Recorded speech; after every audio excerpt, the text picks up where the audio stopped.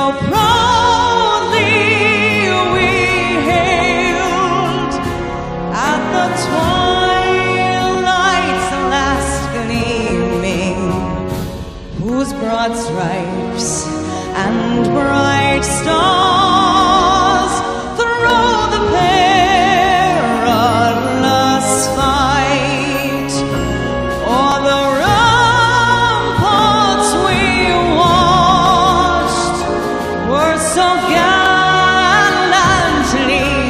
You.